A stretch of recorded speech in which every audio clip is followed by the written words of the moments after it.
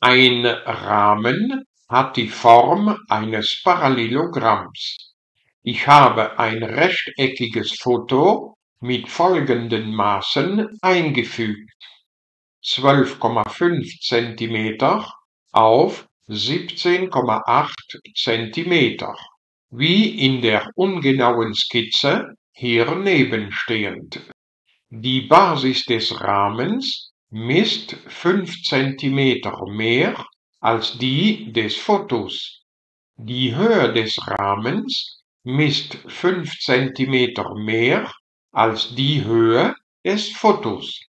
Wie groß ist der Flächeninhalt in Quadratzentimeter des Rahmens dieses Fotos?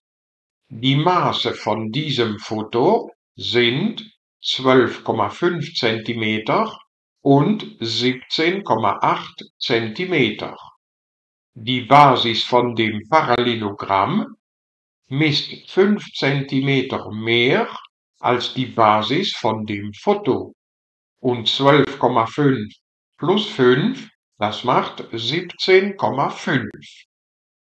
Die Höhe des Parallelogramms misst 5 cm mehr als die Höhe von dem Foto und 17,8 plus 5, das macht 22,8.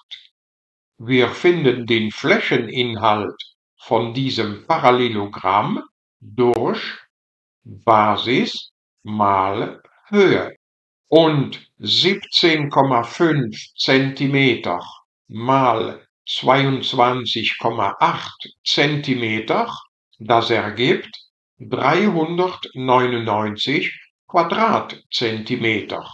Und demzufolge ist die Antwort D die richtige.